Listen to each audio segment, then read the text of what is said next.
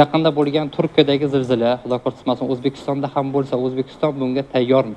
Uchta plita deydi katta katta yirik plitalarni harakati natijasida o'sha yerda juda kuchli zilzila paydo bo'ldi.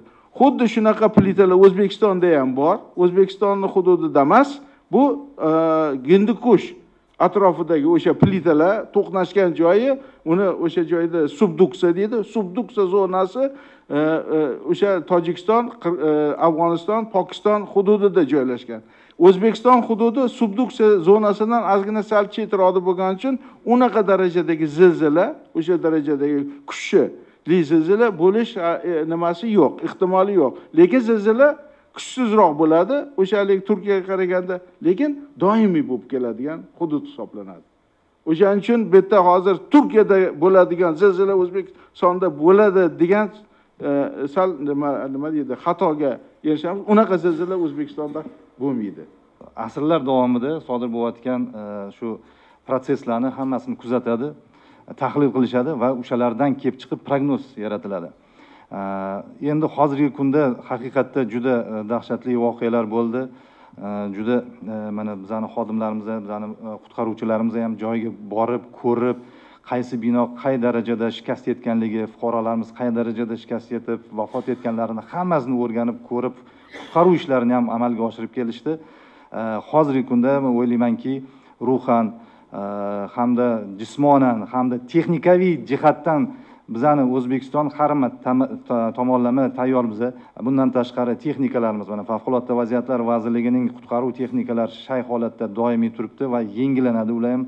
Doimiy ravishda va qutqaruvchilarni ham e, mana boshqa davlatlarga borib shunday vaziyatlarni ko'rib e, tajribasini oshirib kelishyapti. Bu nafaqat favqulodda vaziyatlarda balki o'quv seminarlarda ham e, ishtirok etib o'zini tajribasini oshiryapti man aytmoqchimanki fuqarolar o'zlari ham o'zini e, ruhan tayyorlab ketyapti va qutqaruvchi va mutaxassislar ham o'zini tomonidan vazirlik va idoralarni mutaxassislari ham o'zini tomonidan tayyor bo'lganligini e, ko'rsak bo'ladi.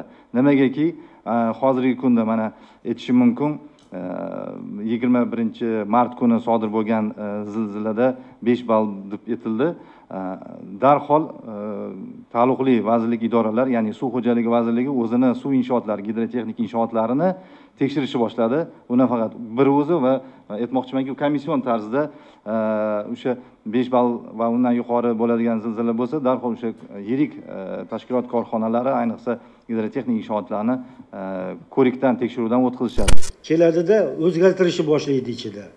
O'sha yerda haligi asosiy dovonlarga tegish umuman mumkin emas. Shunga ham tegib ketadi. Bular ham hammasi shu binolarni e, shu zilzila bardoshligini kamaytirishga olib keladi. Yana bu yerda bitta narsa aytmoqchi edimki men butun dunyoda albatta mana bu yer qimirlashini qachon bo'lishini yetib berish mana bu yerda vaqtda aytdilar bu mexanizm yo'q. Bu yo'nalishda juda qattiq ish olib borilyapti.